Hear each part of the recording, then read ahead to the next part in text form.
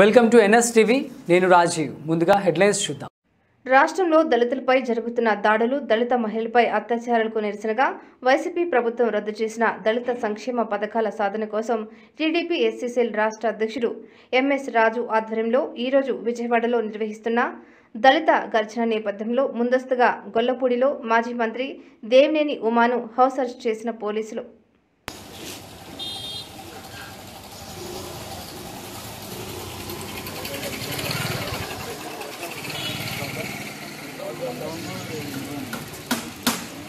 వర్గాల్లో వాళ్ళ మట్టిలో మాణిక్యాలు ఉన్నాయి. వాళ్ళ సాన పెడితే వజ్రాలు అవుతాయి.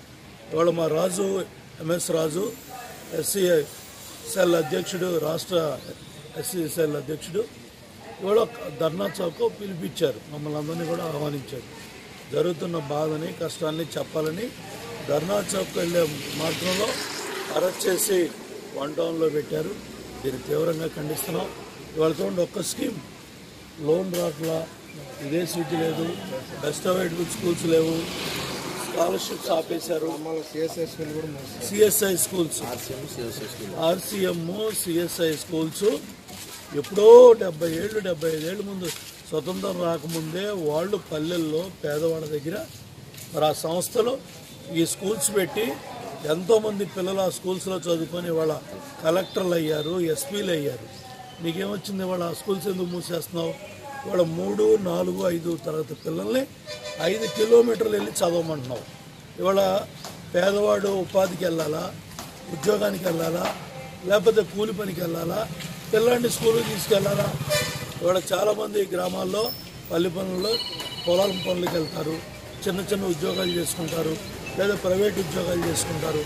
వాళ్ళ పిల్లలు ఇవాళ బయట ప్రాంతాలకు ఐదు కిలోమీటర్లో హై స్కూల్లో చే చేర్చామంటే నాడు నేడు అని చెప్పి వేల వేల కోట్లు ఖర్చు పెట్టాం మళ్ళీ వాళ్ళ స్కూల్స్ అన్నీ కూడా తాళాలేసి మళ్ళీ వీళ్ళందరినీ కూడా ఐదు కిలోమీటర్లు నడవమంటున్నాం.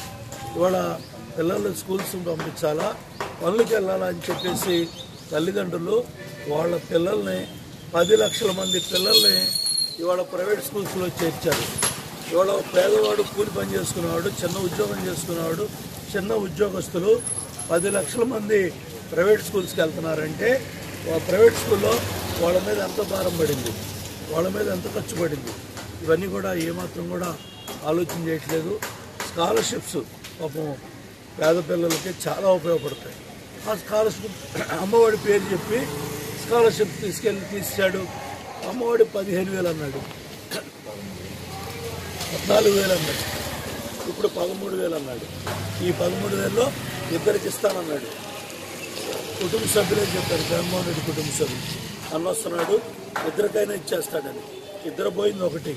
ఒకటి పోయింది మూడు సార్లు వచ్చినాడు రెండు సార్లు వచ్చింది. రెండు సార్లు వచ్చినాడు ఒకసారి వచ్చింది. ఒకసారి వచ్చినాడు రెండోసారి రాలా. రెండోసారి వచ్చినాడు మూడోసారి రాలా. నాలుగోసారి ఎగ్గొట్టేశాడు.